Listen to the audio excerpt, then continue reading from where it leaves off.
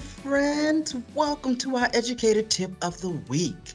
My name is Mr. Mackay, and I'm an early literacy specialist here with the Tampa Hillsborough County Public Library. This week, our theme is art. Read, write, talk, sing, play. Read, write, talk, sing, play. Read, write, talk, sing, play. Growing readers day by day. Hey, let's talk about talking. Talking is a great conversational skill for our littles to develop for themselves, for their confidence, and their well being. It's a great way for our littles to discover how to listen and take turns when having conversations with friends and family. For example, let's say we want to start a conversation. How do we do that? We say that by saying, hello. This builds confidence in our little's ability to enable themselves to have the confidence to approach other people. Also, this allows them to learn different vocabulary for different situations.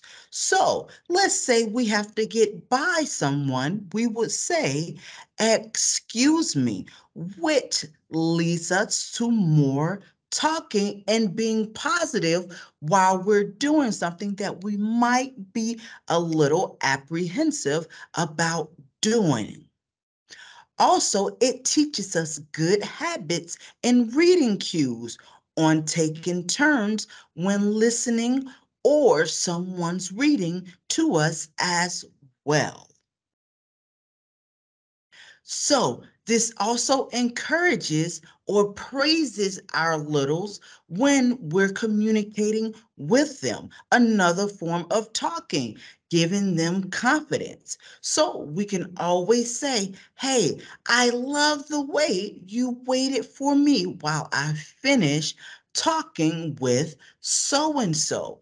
This allows us to teach them about our listening skills, taking turn and giving them praises at the same time for doing one thing.